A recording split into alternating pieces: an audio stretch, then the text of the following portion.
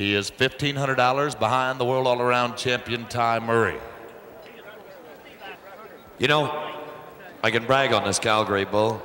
He's a calf out of one of the greatest bulls that the Northland ever, ever had.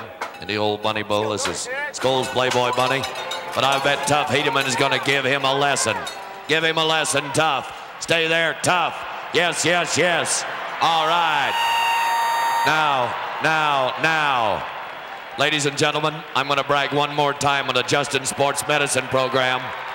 There's a man walking with another broken leg.